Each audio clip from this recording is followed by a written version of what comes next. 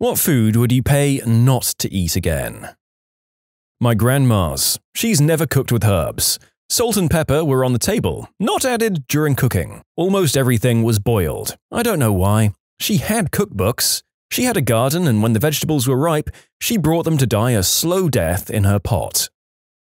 Mine was just the psych ward fruit cup. My least favorite food when I was at the mental institution was the unseasoned powdered scrambled eggs. How are you supposed to feel better when the food itself is that depressing? Was just thinking of this today, actually. My mum used to bake unseasoned chicken breasts with a slice of American cheese on top. That's it. That's the meal. My dad once served mustard chicken. Chicken breasts left bare save for a single line of yellow mustard down the middle, then baked until dry. He's gotten pretty good at following recipes and even adapting them a bit for allergies. But on his own, tragic.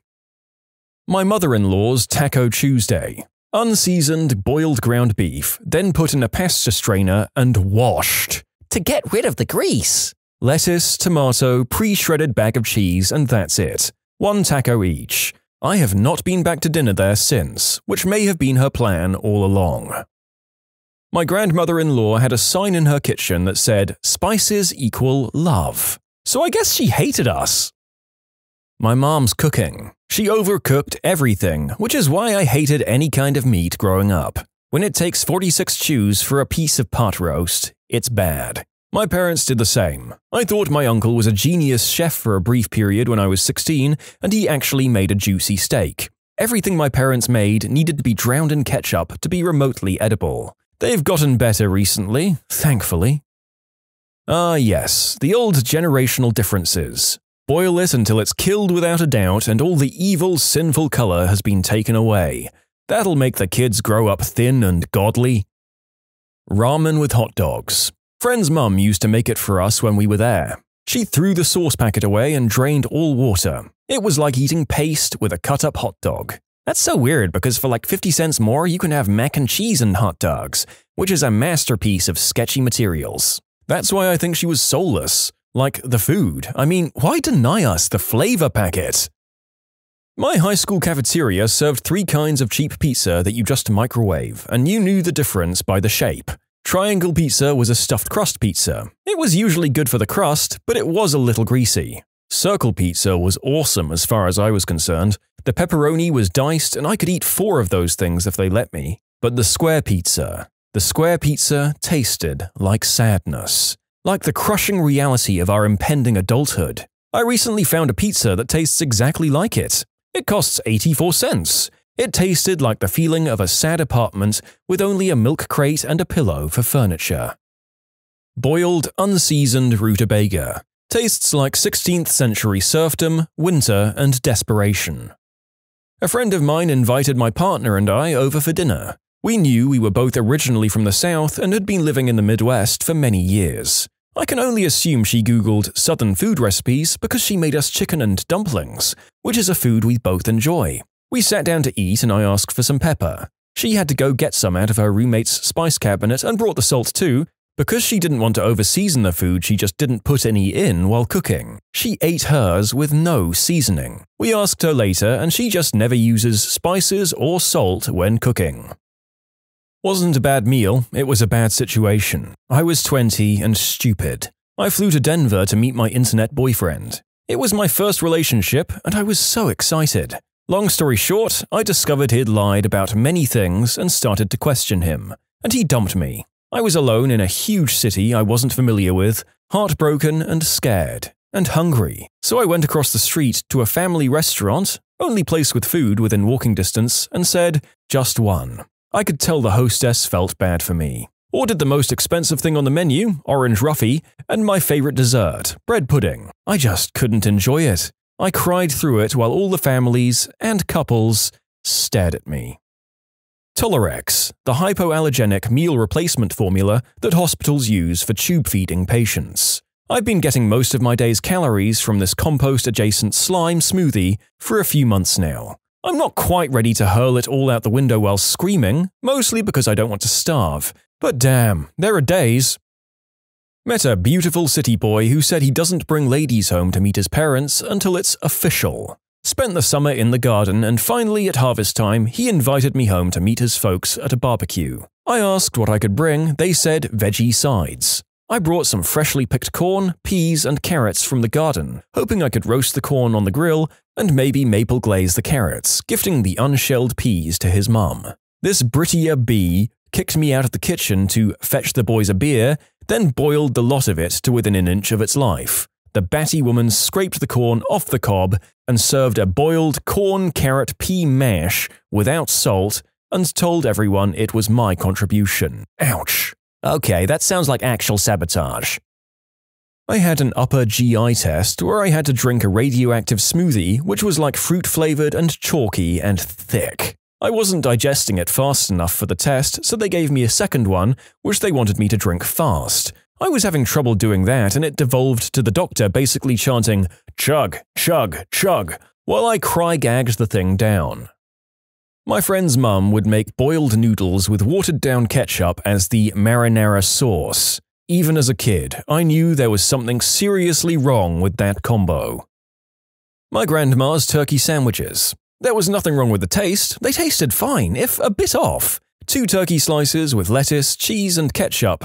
We'd always eat them when we visited them in Vegas, but we also always kept throwing up or felt sick the day after or at the airport. My mum and dad would chalk it up to eating a little bit too much candy because my mum would always get us some when we departed to keep us busy or to have a snack. But when I threw up by the pool with no candy chunks to speak of, like the rest of the time, my parents started to get a bit suspicious, so they asked her. She had been using expired turkeys. A bit of context a long time ago, like a long time ago in a galaxy far, far away, my dad used to work at a deli, and the deli was holding a sale for turkeys. My dad bought 13 for a joke gift for my grandma on her birthday. Turns out she had been using these turkeys for the sandwiches for over 20 years. And one time at dinner, my dad said she had just run out in 2017. So, yeah, no wonder me and my siblings kept throwing up. We even gave the occasion a name the Sick Day in Vegas. My sister and her ex boyfriend invited everyone over to see their apartment they got together. His aunt made some deviled eggs that consisted of relish, jalapeno, and fricking raisins, which she conveniently hid under everything. To add insult to injury, she somehow made them so runny that they practically squirted at you when you bit into one. I grabbed one thinking it was a regular deviled egg, and almost immediately it made me sick. I've never eaten another deviled egg since then. It's kind of a true running joke that when I make videos for this channel about people's medical conditions, I let people know if any or a lot of the stories are making me gag and causing me difficulty recording. Spoiler alert, most of the medical ones are. Weirdly enough, I would say the awful culinary monstrosities on display in this video are challenging my gag reflex and causing retakes even more regularly. Oh god, those eggs sound like crimes against nature. Truly devil's eggs a burnt lasagna from Wegmans that a former boss deemed fitting for a company Christmas party. It was made by strangers' hands and served by an emotionally hollow jerk to people he viewed to be as interchangeable as the parts on the machines we were hired to repair. It was the most evil lasagna that I'd ever sunk a fork into. Reminds me of the time when my former employer brought us one large pizza and large salad for our shop, about less than 15 grown men, and then invited the other shop to join us too, about another 15 dudes. The most embarrassing thing ever. This was for sending out a project that was overdue due to management and owner. God, the mental image of 30 dudes standing over one box of sad looking pizza and some leaves is sending me. A bee flew into my mouth when I was a toddler. The way my mom cooked meat when I was growing up take the frozen steak, put it on a cold pan, turn the heat on, wait. No oil or anything. Burnt on the outside, cold and raw on the inside. She was my inspiration to learn to cook. My mother had the exact same approach to cooking, except she deep fried.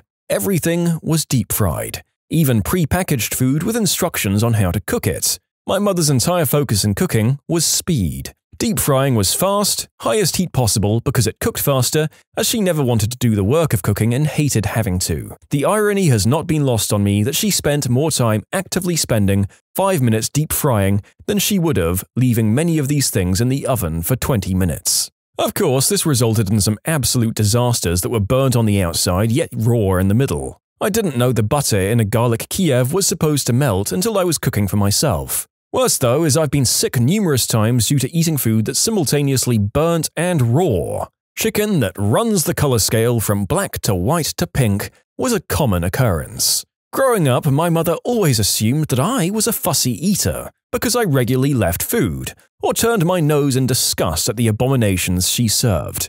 Turns out, once I took to cooking for myself, she saw that actually I loved a lot of food when it was actually cooked in an edible manner. My husband's parents boil a lot, but the boiled asparagus they served up at Easter dinner every year just kills me. This potato salad my aunt served once. The taste is almost indescribable. The only thing I can compare it to is the taste of earwax, which I tried out of curiosity at 9 years old, don't judge me. It was bitter and saltless, and I didn't even use my fork that night because it had touched the disgusting potato slop. I didn't know potato salad could even be good until about five years later. Cold, plain oatmeal. I grew up in a Pennsylvania Dutch area, I love ham, potatoes, and green beans. My mother in law tried to make it for me. It was just processed ham cubes, potatoes, and frozen peas brought to boiling. No onion, salt, or pepper, nothing. You can submit your own stories to be featured here on the channel. The story submission link is in the description below. And if you want to listen to some vibey music in the background, check out Easy Mode, also linked below, and subscribe. Mac and cheese without the cheese. It's like giving up on life when eating it. I'd used the cheese packet on something else and was hungry and just made the noodles. Last time I made that mistake. I was a broke college student at the time. I couldn't afford any of the additional ingredients everyone has listed to make it better. There was a time that I would take condiments from the cafeteria and put them on crackers, which I stole from the soup station in lieu of actual meals. It's a toss up between Ina Garten's hummus recipe and a plate of red beans and rice I had at a, quote, Cajun place in Montana. Microwaved poached chicken. My mum would take bone in chicken breasts and boil them in a glass bowl filled with water in the microwave. This grey meat would then be shredded and used for various recipes. She also nuked scrambled eggs, which made the house smell like a hobo died on a toilet. When I was in seventh grade, a friend invited me to her house. Her very waspy mum served lunch. Tuna sandwiches, my favorite. I took a nice big bite. Reader, they were olive sandwiches. Chopped up cans of black olives mixed with a ton of Miracle Whip. I couldn't figure out what to do with the salty, oily blob in my mouth. Thankfully, my friend went to the kitchen with her mum to get drinks and I spat it out onto a planter. I've never been able to eat olives since then was at a relative's house, she dumped chicken legs into a greased 9 by 13 inch pan and covered them with a 28 ounce can of tomatoes. Baked at 350 Fahrenheit for a long time. Chicken cacciatore, she said. No, no salt, nothing. Two ingredients. Had a tightwad friend make dinner one night. It was plain rice with boiled chicken. No spices or flavor, it was plain chicken and plain rice. He didn't even put salt in the chicken water. Creamed chicken on toast. It was my parents' way of saying, We don't really want you kids. Chickpeas. Just rehydrated chickpeas. I was a student and had finals and didn't leave the flat, but I ran out of other food. In the morning, I ate a bowl of them that had soaked overnight, washed up, and then left the dinner chickpeas to soak. This was for a number of days. It was miserable and ruined them for me. Well, we all had our student meal routines, no matter how awful they were. Thinking back on mine makes me feel terrible. Porridge twice a day with tuna pasta for lunch. I swear that eating bottom shelf tinned tuna every day for two years must have given me some level of mercury poisoning. It's just unclear how much. Oh well.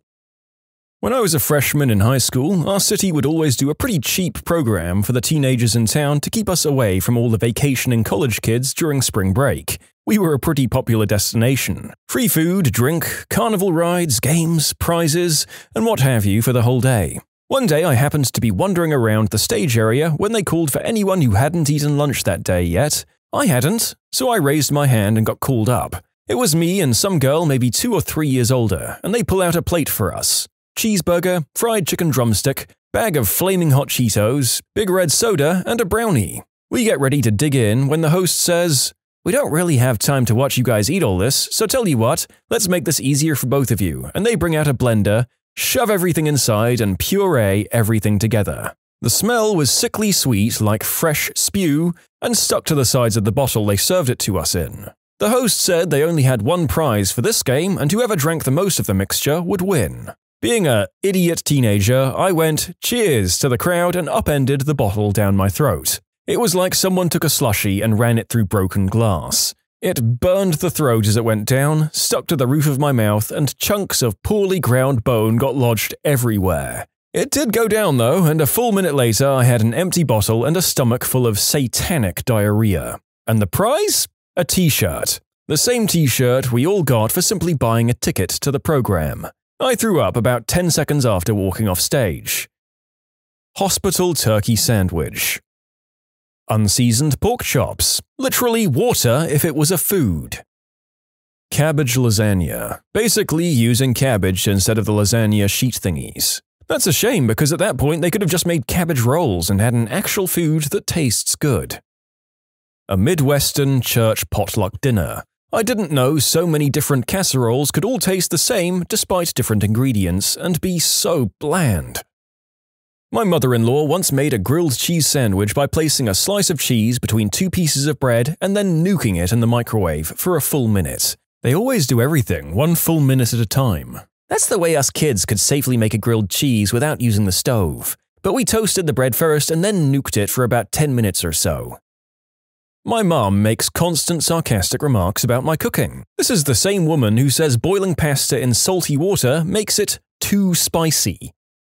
Luku. It's a staple in the Congo. You take the root of the manioc plant, soak it in water for a while to remove the cyanide, dry it, and then pound it into a flour. To make a meal, you simply mix it with water. It has the consistency and taste of Play Doh. Cyanide, you say? Yeah, it causes problems when people are really starving and don't want to wait the couple of days until it leaches out. Some eat it raw, and there were some deaths due to cyanide poisoning.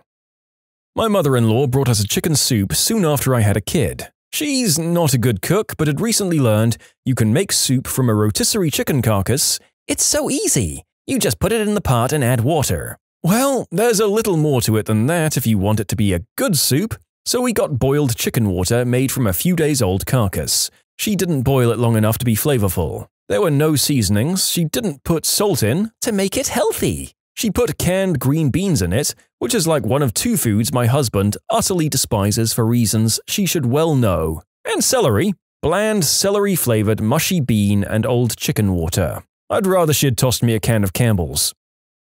Growing up in England in the 60s and 70s, there's a reason people from all over the world told jokes about the food there. My favourite joke about England is I can't believe they had the audacity to destroy so many cultures to get spices and then never use any of them.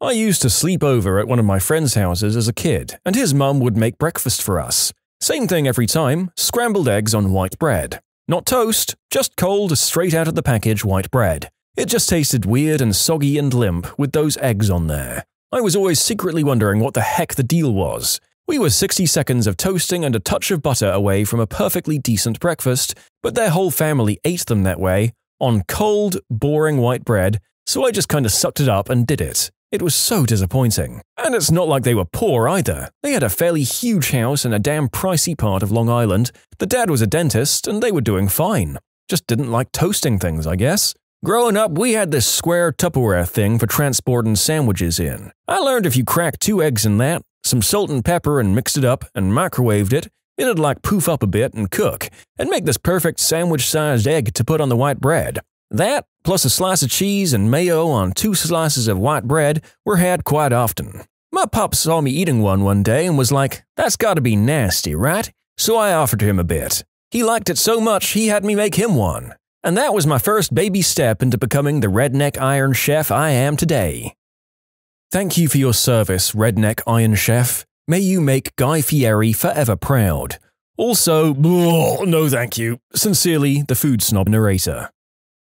A cheese quesadilla that was just a tortilla folded in half with a sprinkling of shredded mozzarella cheese inside, served with a leaf of lettuce, and one third fat sour cream. For dessert was a blueberry bagel with mayonnaise. That particular college roommate was banned from making dinner ever again. Some more details, as I wasn't expecting all the responses I'm getting. The tortilla was a processed, generic disc of preservative laden flour, acquired by another roommate from some bottom grocery store shelf, with a handful of flavorless Kraft mozzarella cheese. Literally just folded in half, not heated or anything. There were four of us living in that apartment, and the roommate responsible had never prepared food in her life, which was understandable. But she kept arguing with the rest of us that she didn't need cooking lessons, and so she was no longer allowed to feed us her culinary concoctions. That mayo on bagel sounds like a hate crime, and I can't stop laughing.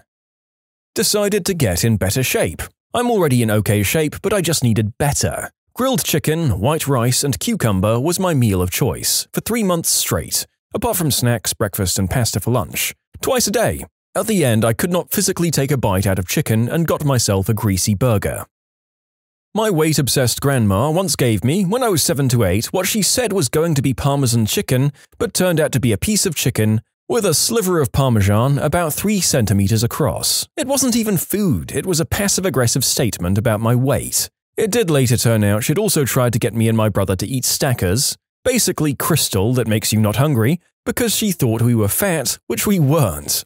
We're both fine now, this was about 10 to 15 years ago, and we're now living a healthy life. That's or the first time I tried to make my own food. I ate pasta. Literally just pasta. Probably a cheap supermarket sausage roll, tasteless pastry, tasteless sausage with low meat content. Your thoughts instantly flit to lunch lady Doris grinding up gym mats. Weight Watchers and Slimming World recipes, all based on fricking chopped tomatoes and stock. Who'd have thought seasoning had so many gosh darn calories? Boiled broccoli without any spices. No wonder so many people hate it. You just boil the taste out of it. Add salt at least, it's not that hard. This is coming from someone who likes broccoli. As a kid, I ate grass that tasted better than boiled broccoli. I was a weird kid. To be honest, as I'm writing this, I kinda want to eat some grass right now. I had an ex whose mum made meatloaf with the following ingredients ground beef, breadcrumbs. There was no ketchup on top, no seasonings of any kind used. I swear it was like something that I imagined them feeding to prisoners in the hole or something. I lost my McRib virginity recently, realized it's no different from a frozen rib sandwich from a vending machine. When you subscribe, make sure to hit the bell to turn on notifications. Put the playlist on in the background to finish listening to all the stories, or if you want some vibey music to put on in the background, check out Easy Mode.